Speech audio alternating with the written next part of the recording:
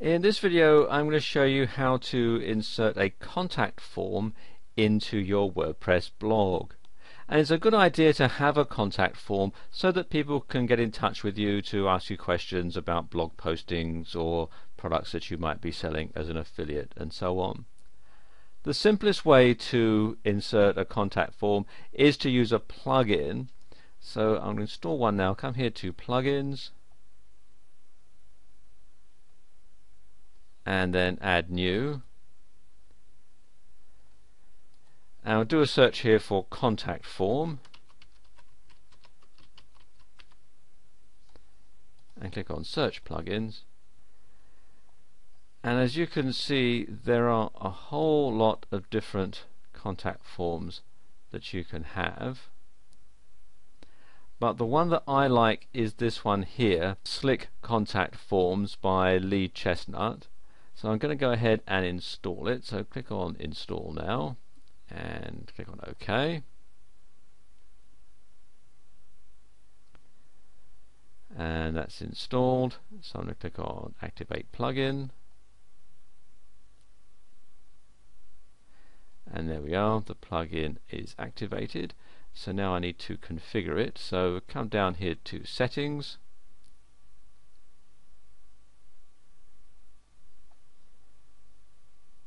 and slick contact forms.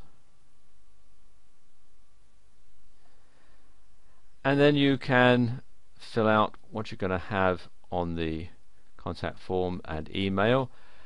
The default email address for receiving um, contact emails this will be set up as the administrator's email but you can change it if you wish. And you have the email subject I'm going to say from Sam's blog there are a couple of options here. You can include the IP address which is a good idea because that can help track down anybody who's trying to spam you via your contact form. And include the page URL I would check that one as well because then that gives you an idea as to what pages people are viewing when they uh, have a query to get in touch with you. Then you have the options you can have after the form has been submitted you can have what they call the AJAX message which basically you can type in here. The uh, the default one is thank you your comments have been received. The error is error please try again and the invalid is there was an error verifying your details. And then you've got the validation messages input required and enter a valid email. You can also if you wish have a redirect and you can enter here the URL of the page that you want people to go to after the email has been sent or if there's an error and so forth. I'm going to stick with the Ajax message and then click on Save Changes. There we go, the settings are saved. So I go back to the dashboard and then I need to insert a widget into my main page so that the contact form can be activated. So I'm going to click here on widgets and then scroll down till I find the uh, slick contact forms and what slick contact forms do is it adds a floating contact form, which means that it's not actually included in a sidebar, even though you have to actually include the contact form in a sidebar. You'll see what I mean in a minute. That doesn't make a lot of sense, but you'll see what I mean. Okay, first thing to do is to slide this in to the uh, sidebar that we're going to put it in. So just ease it up here. I'm going to put it in the left sidebar. I'm just going to put it in here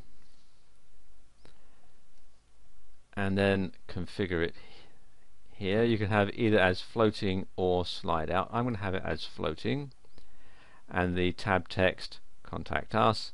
I'm going to leave the width and the other things here uh, set at the uh, the default settings and the skin. I'll leave that as black because that will fit in but you can uh, change it if you wish. Again we're leaving the email where it is and the form text at the top. Again in the text box the name and email that's required and the location. I'm going to leave it here at left but you can uh, change it if you wish. So we do that. And now click on save. And there we go. That's done. Now if I go to the blog site you can see that the contact form is floating right here. I'm using a very small screen resolution for this. If you're looking at it on a larger screen resolution you'll see off to the side and it won't obscure the name of the blog.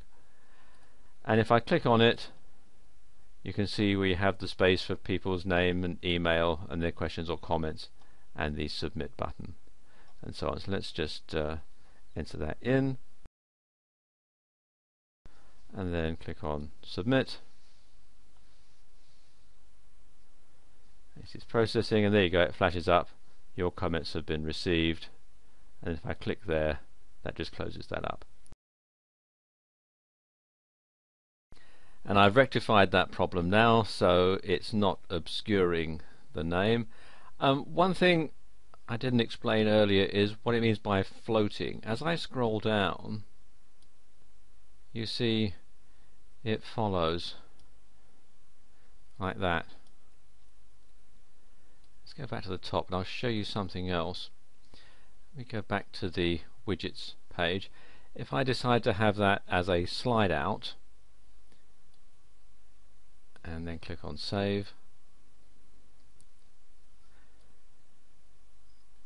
and then refresh. You can see it moves over right to the side and then when I click on it it slides out like that. And I click on it again it'll slide back in. And as I scroll down you can see it stays stuck to the side like that. They do ask for a donation if you use this on a regular basis and there's a donate button uh, in the setup area.